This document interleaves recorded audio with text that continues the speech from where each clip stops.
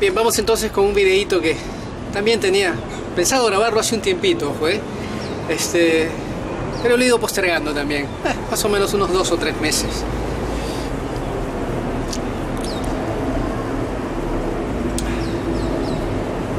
Tiene que ver con, tiene que ver con el gobierno, ¿ok? Tiene que ver con el gobierno. Tiene que ver con el propósito. ¿Por qué? Porque cuando observamos un fenómeno, un fenómeno epistemológico, dentro de la comunidad, dentro de la sociedad, tenemos que ir a, tenemos que ir a la fuente. ¿Cuál es el, cuál es el entuerto desde el que nace este, este fenómeno y por qué este fenómeno este, aterriza en una determinada eh, eh, comunidad, de pueblo, ciudad, región, continente y hasta incluso el planeta Tierra, ¿ok? Somos 7.7 billones de habitantes. Entonces me pregunto, eh, por este muchachito de, 33 años, ¿no? Su ministerio duró entre los 29, 30, 31, 32, moriría de 33 años. Este, y se habla mucho de él, es el, gran bestseller, el, el nadie ha podido trascender en, este, este universo que vivimos de de la social media como ha trascendido Jesús. El, el, objetivo de la social media es, es, es, es cautivar, es, atraer atención, ¿ok? El influencer lo que busca es la atención, la atención. Este, eh, yo diría que es el 85% de, de, del objetivo de, un influencer, ¿ok? Atraer atención, la atención eh, después se grafica, se ilustra en términos económicos, obviamente, ¿no? Cuando hay mucha atención y se puede promover un producto o se puede eh, promover un servicio, ¿ok? Entonces esas cosas son, este, eh, eh, de hecho, son muy afines a, todo lo que yo hago este, para sobrevivir en esta vida, ¿ok? Que son las ventas. Las ventas han sido la plataforma sobre la que yo he podido este, hacer una vida, una vida medianamente cómoda, ¿ok? solamente ejercí la psicología 12 años. Bueno, 12 años es bastante, pero, pero no es toda una vida, no es una carrera, ¿ok? Ahora bien, hay que ir a la fuente. ¿Y cuál es la razón por la que Jesús vino? Tiene que haber una razón. ¿Para qué vino? ¿Por qué este sujeto ha, cautivado, ha generado tanta atención? ¿Por qué sigue siendo el bestseller a nivel mundial? ¿Por qué es el único que ha trascendido? Este, Napoleón, ya nadie habla de Napoleón, se quiso comer el mundo, nadie habla de Napoleón, ¿ok? Este, entre otros, entre otros que podría mencionar, no vienen al caso. Este, pero todos estos sujetos que alguna vez eh, acontecieron, este, eh, eh, no han trascendido, este, no han trascendido. y nos ponemos a, ver autores, hay, un autor este, americano que no lo he leído, curiosamente no lo he leído, Sinclair no lo he leído y me causa este, mucha vergüenza decirlo, no, no, no lo he leído, no lo he leído. Este, pero hay otros autores, autores este, eh, que han trascendido, Hemingway, eh, Henry James, eh, John Fitzgerald, este, T.S. Eliot. Va tantos autores americanos, este, Tennessee, miles de autores americanos, miles de autores americanos, filósofos, Spinoza, Hegel, el mismo Nietzsche, que lo leí siendo jovencito, nunca estuve de acuerdo con él, pero tiene cosas interesantes, ojo, ¿eh? Este, lamentablemente que se, lo vincula al, surgimiento pues, de, la nacional socialista eh, del año 32, 33, en, la Alemania del siglo pasado, ¿no? Este, pero no han trascendido el mismo este, Carlos Marx. Este, bueno, de alguna manera sus hipótesis trascienden en, Cuba todavía, ¿no? En Corea del Norte, en un, este, un Mickey Mouse de, la China, ¿no?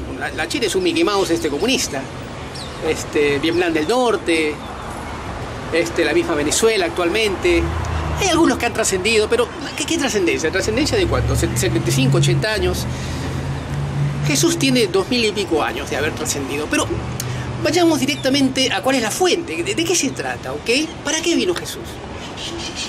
Jesús no vino para presentarse en la Eucaristía, esas son estupideces eh, de nuestra religión católica, ¿ok?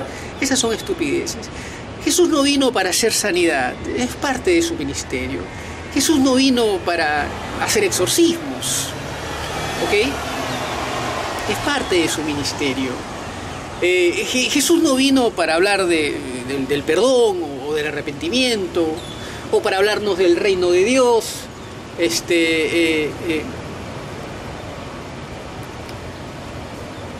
no vino para eso, para hablarnos de la salvación, mejor dicho.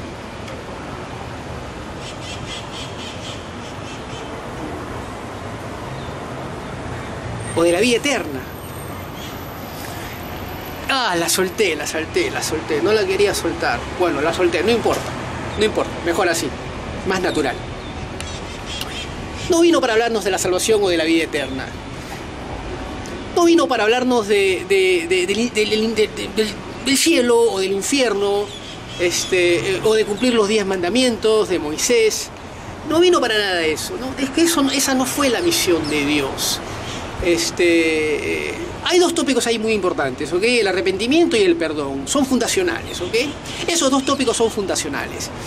Lo interesante es que Cristo se presenta, eh, se presenta eh, como un rey. Un rey. Ahora bien, desglosemos un poco. Un rey. Un rey no es un presidente. Un rey no es un primer ministro. Un rey eh, no, es un, este, no es un gobernador. ¿Ok? Un rey no es un, general de división este, enclaustrado en el poder producto de un golpe de facto. Este, un rey es un rey, tiene un reino un reino, el, el reino se constituye a través de eh, la eh, propiedad de territorios y la conquista de nuevos territorios. Y este, eh, siempre tiene un gabinete, un rey siempre tiene un gabinete, pero no solamente eso, este, los ciudadanos son sus súbditos, ¿ok? Súbditos. Del rey, el rey es el dueño de todo. Ese es un reino. El discurso de Cristo es un discurso político. La irrupción de Cristo en, la antigua este, eh, Judea, en la, antigua Palestina, en lo que es el actual este, Israel, y algunas este, eh, secuencias un poco más aledañas, ¿ok? Este, que eran parte de Israel también. Eh, todo su discurso fue político. Jesús irrumpe de tal manera que va en contra de los fariseos, de los escribas, de los eh, eh, miembros del Senedrín, este, de todos los que de alguna manera regulaban las sinagogas, los Shabbat de aquella época. Jesús va en contra de muchas costumbres, muchas costumbres que eran políticas. No se olvide, la religión judía basa su religión en la obediencia de sus este, feriados, sus holidays, ¿ok? Y el y el seguimiento este, a pie juntillas de eh, eh, un comportamiento este, eh, muy adusto con respecto a sus propias leyes, ¿ok? Este, que tienen que ser cumplidas, como el tema de la comida kosher y cosas por el estilo, ¿ok? Ahora bien, y el, el, este, el respeto al sábado, por supuesto, ¿no? El Shabbat, eso queda claro. Ahora bien, Jesús va en contra de todas estas este, instituciones, si se quiere, porque se terminan convirtiendo en una institución este, al hacer ejercicios este, de sanidad, de exorcismos, eh, el sábado. Esto fue, esto fue una afrenta a, los religiosos de aquella época, ¿okay? este, que no terminaban de entender de, de qué se trataba este sujeto que estaba revolucionando la comunidad, el pueblo. Entonces Jesús se revela contra esta gente, esta gente empieza de alguna manera a fraguar su asesinato, ¿no? Que lo encontrarían eh, eh, finalmente a manos de, Judas Iscariote, uno de sus doce apóstoles. ¿ok? Hasta ahí estamos bien. Pero en realidad cuando Jesús hablaba, Jesús hablaba de un gobierno. Jesús nunca habló, nunca fue el mensaje de Jesús nacer de nuevo, o el perdón, o el arrepentimiento. Es cierto que Juan eh, comienza su, ministerio clamando a los cielos arrepentidos o pereceréis. ¿ok? Es cierto y anuncia también el gobierno, el gobierno de Jesucristo, que es algo muy importante. Ahora, ¿por qué es importante? el tema del gobierno de Jesucristo, que, es un reino, por supuesto, ¿no? No, es un gobierno democrático, este, eh, Jesús elige a su gente, ¿ok? Y ahí está el tema de los elegidos. Por eso elige 12 apóstoles. Entre muchos, ojo, ¿eh? entre muchos eligió a 12 apóstoles. Ahora bien, es de ahí de donde viene esta confusión de parte de tantas instituciones, de la Iglesia Católica, la Iglesia Copta, este, egipcia, que es, que es la más antigua casi, este, es más antigua incluso que la Iglesia Católica, ojo, este, y no reclama ningún papado. Este, eh, están los anglicanos, están los luteranos, están los, los, pentecostales, están los presbiterianos, están los bautistas, que son los grandes protagonistas, este, ahí por el Bible Belt, acá en Estados Unidos. Eh, hay muchas iglesias y después están las iglesias sin denominación, pero que adscriben este, eh, eh, a la Biblia y después están las sectas, las sectas que de alguna manera este, recogen una fracción de lo que es el, mensaje de Cristo, llámese adventistas, ese, llámese testigos de Jehová, esos son, esos son jodidos, ojo, eh. Mucho cuidado, ojito, ojito, esos son jodidos. Están los mormones, eh, que tienen una tercera revelación a través del libro de Mormoni. Este, y hay muchos por ahí. Después están las sectas que ya rayan en lo diabólico y cosas por el estilo que dicen adscribir al mensaje de Jesucristo. El mensaje de, Jesucristo no tuvo nada que ver con nada de lo que esta gente dice. Porque esta gente te, te adscribe una, una, una, una necesidad, una condición para que tú seas parte de la iglesia. Te tienes que bautizar, tienes que rendir, eh, eh, tienes que ser parte de la Eucaristía, tienes que comulgar, tienes que arrepentirte, tienes que este, perdonar.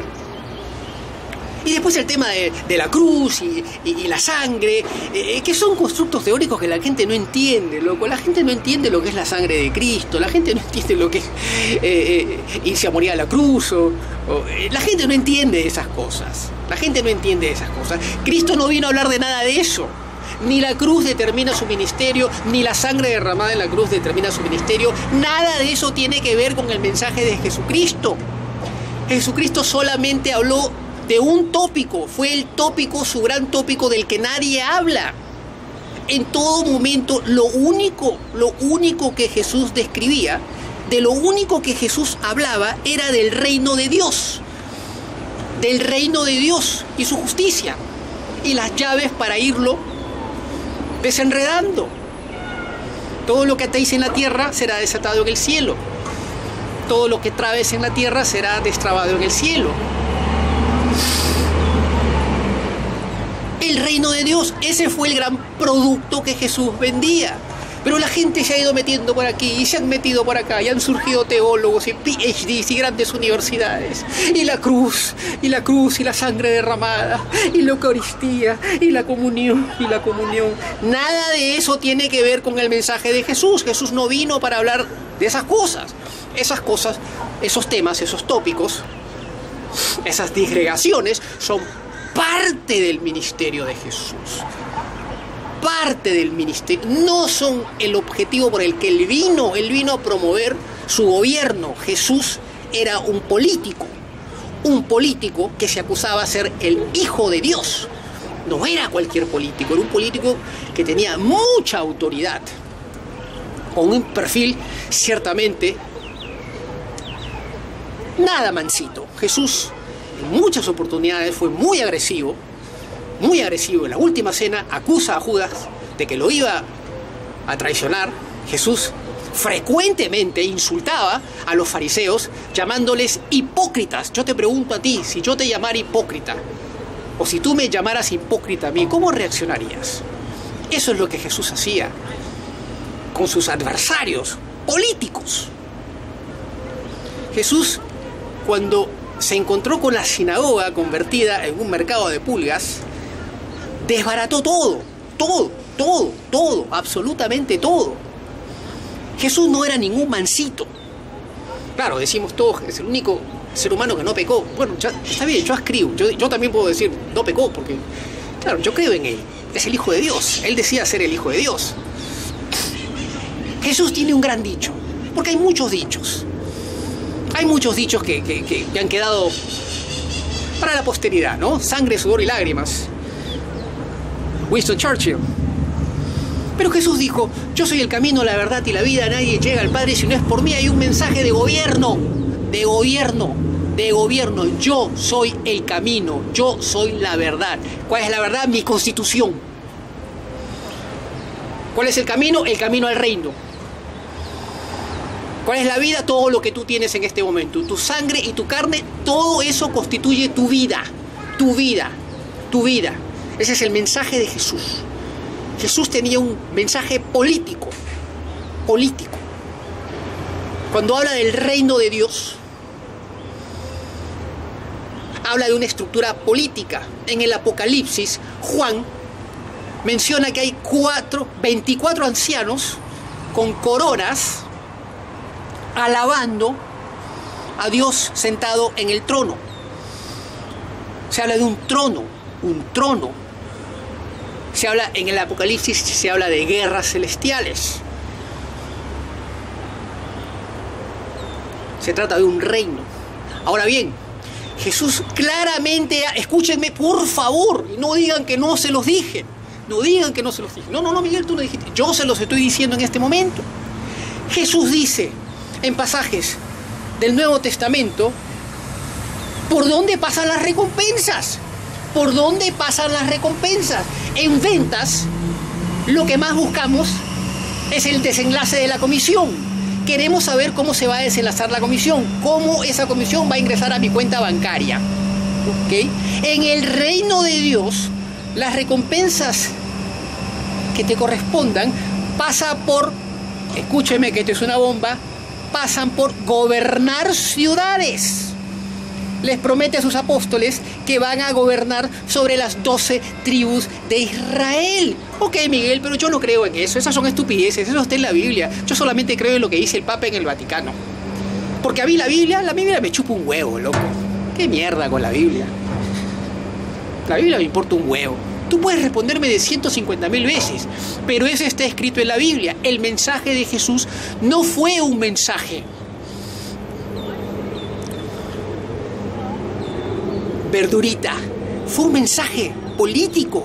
Jesús en todo momento, en todo momento, habló en términos de un gran político. Ahora bien, cuando Jesús se encuentra con este centurión que tenía una hija que estaba enferma y se le acerca y le dice, Señor,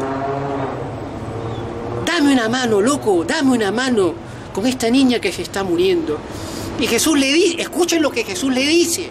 Jesús le dice, voy contigo a tu casa para sanar a tu niña. Pero el centurión le dice, no, loco, le dice, no es necesario. No es necesario. Yo soy un hombre puesto en autoridad. Y cuando yo doy una orden, mis súbditos me obedecen. Basta con que digas, des una orden para que mi hija se reponga. Efectivamente, Jesús le respondió, wow, tú sí que tienes fe, le dice. Lo que acabas de decir se ha hecho. La niña se curó, ¿ok? Jesús siempre circulaba en términos políticos, siempre circulaba en términos políticos. Ahora, hay algo muy interesante. Jesús en todo momento persigue la consecución del Antiguo Testamento, ¿ok? Que guarde correlato con el Nuevo Testamento. En todo momento Jesús siempre está diciendo para que se cumplan las escrituras, para que se cumplan las escrituras. ¿Ok? Él siempre buscaba la consecución, el correlato, ¿ok? del Antiguo Testamento con el Nuevo Testamento. Ahora, hay una parte muy importante que es muy interesante, que la gente lo pasa, lo pasa desapercibido y, y, es para observarlo claramente. Jesús, Jesús se somete 40 días y 40 noches al desierto. ¿Y con quién creen que se encuentra en el desierto? Con su más artero enemigo, con el demonio, con Lucifer, con Satanás. Satanás le hace dos o tres ofertas interesantes, ¿ok? Para cualquiera de ustedes serían muy interesantes, excepto la de arrojarse, por supuesto, al vacío. Pero le hace dos ofertas más muy interesantes. La primera, la de convertir eh, las piedras después de 40 días de no haber comido, de no haber tomado ni una gota de agua. Convertir las piedras en pan es una muy buena oferta, es casi una oferta irresistible, ¿ok? Pero la oferta política más interesante que le, que le hace es la siguiente. Lo para sobre una cúspide y le dice, Escuchen lo que le dice. Si te inclinas hacia mí y me alabas, el demonio le dice a Jesús, te regalo todos estos reinos. todos estos reinos.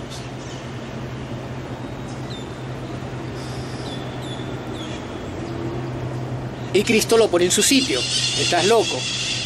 Jamás. Jamás. Jamás. Esa es su respuesta. Jamás. Hay una propuesta política. Política. Jesús es enviado a, muchas, a muchas autoridades cuando es capturado. Sin embargo, solamente se revela, no se revela ante Caifás, ¿ok? No le dice nada, se queda mudo. Pero sin embargo, cuando le toca hablar con Pilato, Pilato le pregunta de manera muy tímida, no socarrona, pero tímida, le pregunta, ¿eres tú el rey de los judíos? Y Jesús le responde, tú lo has dicho. Es la primera vez que se revela ante una autoridad, porque muchas veces los fariseos, ¿ok? La gente del Cenedrín le preguntó, los, seduceos también, le preguntaron, ¿eres tú el rey de los judíos? Y él no le respondía. Sin embargo, a Pilato sí le responde porque Pilato era un gobernador enviado desde Roma, representaba un reino. El imperio romano era un reino, aparte era un reino enorme, enorme, llegaba hasta Inglaterra, loco. O sea, para que tengan una idea. No cualquiera conquista Inglaterra, ¿ok? No cualquiera. Ese fue el ese fue el bocadito que se quería comer este Hitler. Se quería comer tanto Inglaterra como eh, este, eh, Rusia, ¿ok? Esos, esos eran los dos bocaditos que perseguía este Hitler. Para que sepan ustedes más o menos cómo es el tema. Jesús le responde a Pilato, tú lo has dicho. Jesús siempre hablaba en términos políticos, en términos políticos. Ahora bien, hay un tema que para mí es muy interesante, por supuesto, es la generación del, cielo y el infierno, en términos, de, en términos de temas políticos.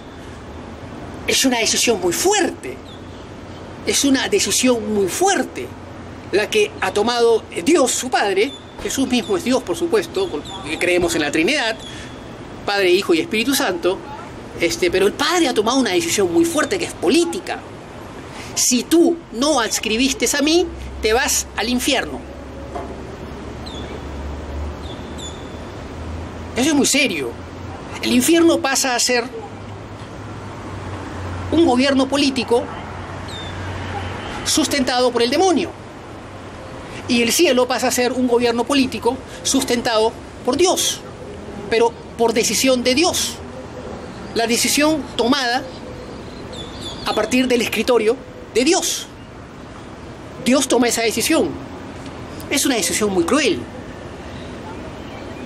es una decisión como la de eh, eh, castigar a una persona por eh, con, la, pena, la, pena de muerte por una transgresión dentro de la sociedad. Sucede en muchos estados americanos. No todos los estados americanos adscriben a la pena de muerte. Todos, ¿ok? La Florida, por ejemplo, sí. Este estado sí adscribe a la pena de muerte. Texas también, creo. Estoy muy seguro que Texas también. De modo que son decisiones políticas. Cristo era un político actuaba políticamente, su discurso es político. Es por eso que Cristo en todo momento, en todo momento está hablando del dinero. Cristo en todo momento hablaba del dinero, en todo momento, todos, todos, todas sus parábolas tienen que ver con la generación del dinero y cómo inviertes tu dinero. La parábola del sembrador termina diciendo que esa semilla cayó en buena tierra de modo que produjo de 100, de a 60 y de a 30%. Jesús siempre estaba hablando del dinero. En todas sus parábolas habla del dinero. Ni hablar la parábola de la, viuda que deja eh, eh, dos denarios, mientras los demás dejaban lo que les sobraba para la sinagoga. Cristo siempre estaba hablando del dinero. Sí hay tópicos que son importantes, como el arrepentimiento y el perdón. Es muy importante, es muy importante dentro del discurso de Jesús. Sin embargo, no es su gran discurso, no es su gran discurso. El gran discurso de Dios es la presentación de su gobierno, el reino de Dios. De eso hablaba Jesús en todo momento. Lean la Biblia. Y ahí está descrita toda su, toda su idiosincrasia política, toda, toda, toda, toda, toda, toda. A mí no me sirve de nada haber leído toda la filosofía que he leído, toda la literatura que he leído, toda la psicología que me cansé, soy psicólogo, me cansé de leer, no puedo leer más de psicología, loco, no puedo más. No, de repente hay cosas interesantes por ahí. Debe haber algo interesante por ahí. Siempre cosas, bueno, todo, todo está relacionado, últimamente en psicología, todo está relacionado últimamente a artificial intelligence, este, eh, el tema de las drogas, este, y, y las social media, las plataformas sociales, ¿ok? Se ha, se ha ido transformando de esa manera. Está madurando de una manera en tópicos que, bueno, son bastante vigentes, ¿ok? Para que más o menos tengan una idea de lo que se está estudiando en este momento en Harvard, en el MIT, en Stanford, en esas escuelas, ¿ok? De investigación, en el, en el Caltech. Son escuelas, grandes escuelas de investigación, ¿ok? que hacen investigación porque reciben grandes donaciones, ¿ok? Que eso quede claro. Entonces, estamos hablando de un mensaje eh, claramente político, claramente político, claramente político. Y hay muchos más tópicos que tocar, sin embargo creo que ha sido suficiente. El mensaje de Jesús fue un tema, un mensaje político, el reino de Dios, el reino de Dios, una monarquía, el reino de Dios. Yo soy Miguel desde South Beach, Florida. Ya regreso con otro video. Chao, chao, adiós.